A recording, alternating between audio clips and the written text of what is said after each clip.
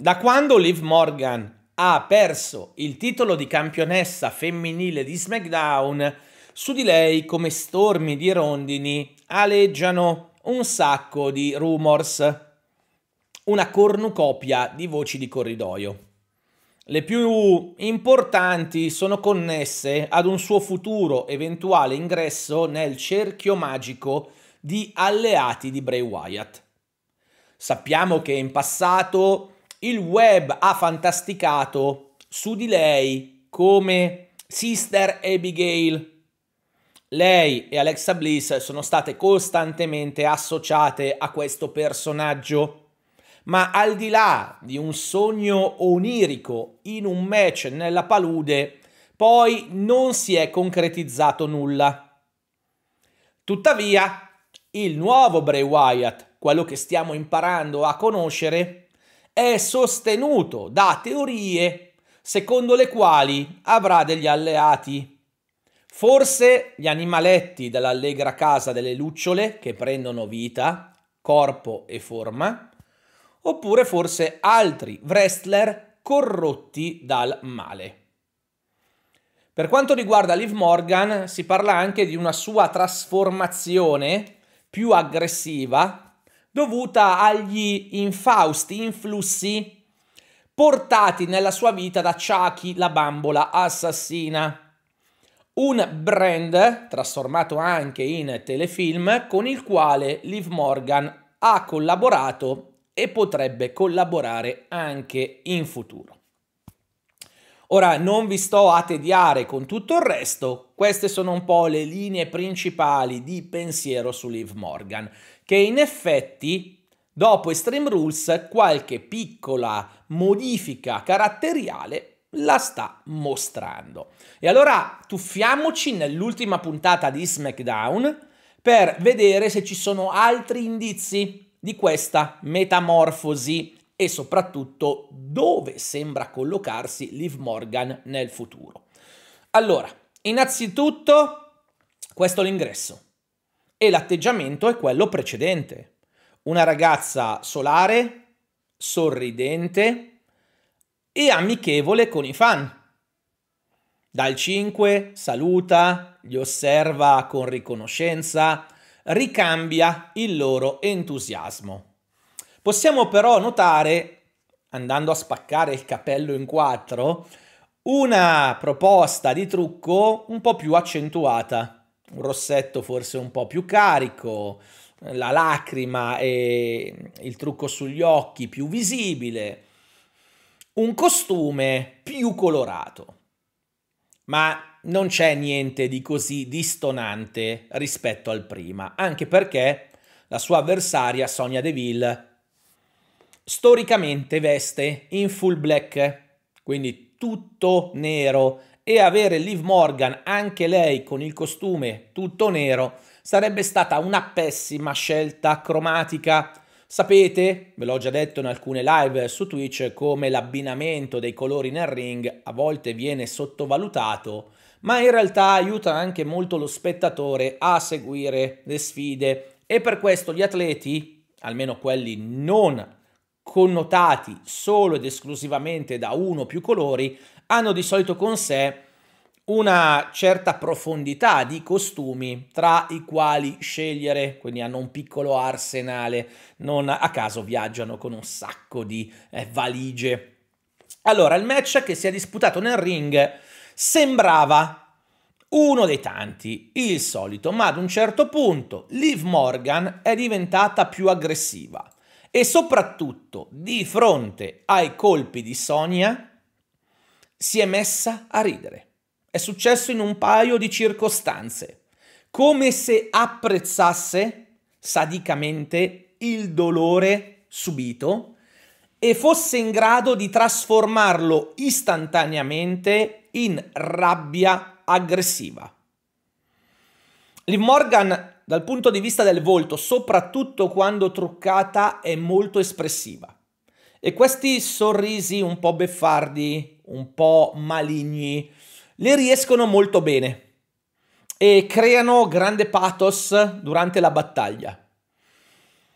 Sono stati dei piccoli punti di svolta, anche perché a un certo punto, accumulando così tanta voglia di riscatto verso Sonia, è esplosa la travolta di colpi e l'ha portata fuori dal ring, dove il match è terminato. Perché qui Liv Morgan sì, che in pieno stile metamorfosi è cambiata. Perdere la cintura, hanno detto i colleghi americani, ci ha dato una nuova Liv Morgan e forse è vero, perché ha preso Sonia, l'ha buttata, l'ha lanciata contro le balaustre, poi la testa, come se fosse un tamburo, l'ha percussionata costantemente sui gradoni d'acciaio. Così facendo non si è accorta o ha ignorato il conto dell'arbitro, che è arrivato a 10 e quindi ha chiamato il count-out. Liv Morgan si è disinteressata del match, non le interessava vincere voleva punire una rivale che le aveva fatto dei torti. Ed eccolo qua, uno dei suoi sorrisi espressivi. Questa non è più, o lo è solo in parte, la Liv Morgan del passato. E non è finita, perché ha preso un sacco di eh, sedie, le ha ributtate nel ring, ci ha costruito una piccola piramide, un piccolo mausoleo e poi boom, un superplex su Sonia che cade su quella superficie. E poi le si avvicina, sempre con questo fare provocatorio, irridente, come a dire, non sono più l'allegra e passiva cameriera di un tempo, sono stata campionessa, se ora mi schiacci i piedi, hai a che fare con una wrestler che quel passato lo difende perché vuole che torni ad essere il suo presente e il suo futuro. Allora, iniziamo dalle cose che mi piacciono di questa vicenda. Io spero che non abbia nulla a che fare con i rumor che girano. Tra l'altro io spero che Bray Wyatt non abbia alleati, ma vabbè, è una mia sensazione. Ma dicevo, si allinea a quello che le è successo. Ha perso il titolo con Ronda Rousey mostrando una certa maturità sportiva, atletica, mentale. Ora non bisogna retrocedere al personaggio della simpatica perdente di prima. Liv Morgan ha un territorio da difendere, ha una reputazione che non può cedere così facilmente.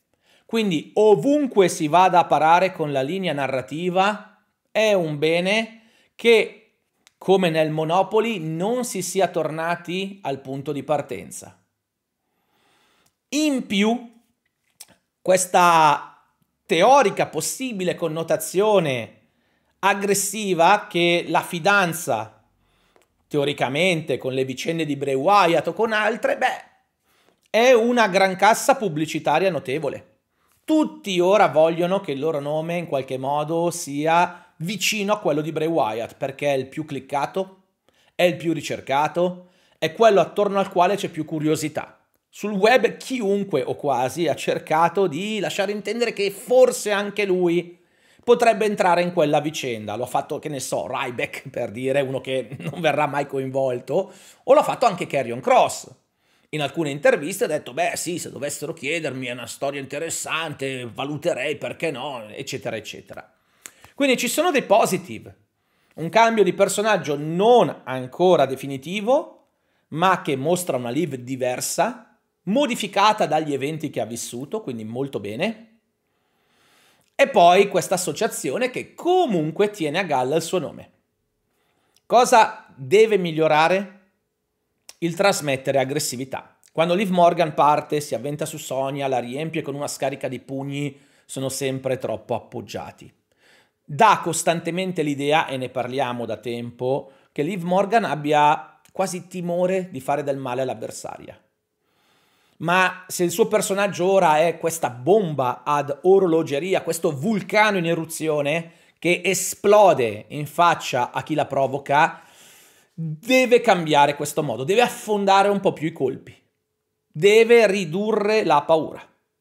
Prendiamo Ronda Rousey, avversaria che ha affrontato di recente. Quando Ronda Rousey colpisce, che piaccia o meno, i suoi colpi sono legit, li accompagna con i movimenti del corpo, con la faccia, con l'aggressività, con l'espressione, con anche il mannerism fisico che aumenta lo slancio delle mosse o l'enfasi dei pugni che arrivano. Liv Morgan lavora tanto, lo sappiamo, sulla tecnica, l'abbiamo visto anche nelle dirette su Twitch, condivide sprazzi dei suoi training, quindi non è una che dorme tra due guanciali e se ne frega. Però questo piccolo difetto, che piccolo non lo è, se lo sta portando avanti da tanto e effettivamente un po' blocca, un po' stringe la caviglia come una palla da carcerato a questa nuova proposta che sta mettendo nel ring. Ecco, io andrei proprio a eh, cercare di metterci una pezza perché è importante. Ma ripeto, sono contento di questo cambiamento. Non è una Liv Morgan che recrimina, che si piange addosso e che è uguale a quella di prima, quella che non aveva ancora vinto la valigetta del Money in the Bank. Dove si andrà a parare non lo so, ma già così mi sta bene. Voi cosa ne pensate di tutta questa vicenda? Beh, dite a roventi, aspetto le vostre opinioni qui sotto nello spazio dei commenti.